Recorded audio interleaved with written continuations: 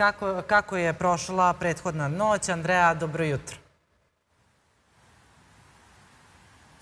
Dobro jutro, poštovane kolege i vama, vašim gostima, kao i svima gledalcima Happy televizije. Kao što ste rekli, nalazimo se ispred, ispred prostorije hitne pomoći i zapravo kako su protekla poslednja 24 sata u prestodnici, pitamo doktorku Ivanu Stefanović. Ivana, dobro jutro i hvala što govorite za program Happy televizije. E, dobro jutro vama, vašim gledalcima. Pa relativno mirno 24 sata, mogli bismo reći. 128 intervencija u dnevnoj smeni, od toga 34 na javnom mestu, 6 pedijatrijskih poziva dva stemi infarta.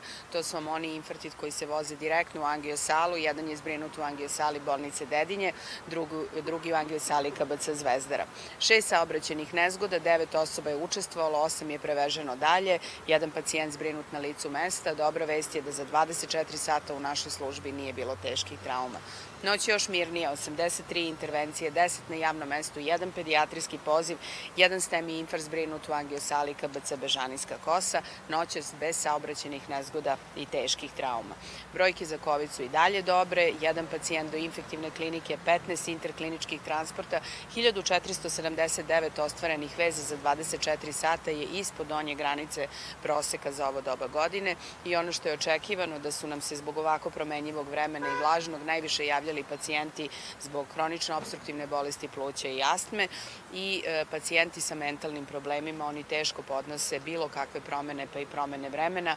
Noće su malo manje spavali, uopšte danima loše spavaju i mislim da je pravo vreme da ih porodica odvede ili da sami posete svoje psihijatre, da ne uđu u neko stanje koje se teže rešava. Pomenuli smo i saobraćene nezgode i da je zapravo u našem gradu noć protekla mirno. Da li je tome doprinela akcija, odnosno pojačana kontrola saobraćaja u svim prekršenim aspektima? Pa potpuno ste u pravu, to je jedan od važnih aspekata kontrola, jer izgleda da ne možemo sami sebe da kontrolišemo kako vozimo. E, svi, sve posledice saobraćenih nesreća ili najveći deo njih su posledice zapravo e, naše nekontrole, prebrze vožnje i vožnje u, pod uticajem alkohola. Dakle, nulta tolerancija na alkohol, nulta tolerancija da vozite bez pojasa. Zbrinjavali smo i teške slučaje na parkingu prilikom parkiranja dece koja nisu bila vezana dok su roditelji samo na par minuta. Dakle, mora postojati određen broj pravila koje svi moramo poštovati. To nije teško ako već ne možemo sami, dobro nam dođe pomoć saobraćene policije. Najlepše vam hvala na detaljnim informacijama. Poštovani gledalci, bila je to doktorka Ivana Stefanović iz Urgentnog centra. Mi se čujemo nešto kasnije sa naše naredne lokacije, a vi, poštovani gledalci, ostanite uz program Happy televizije.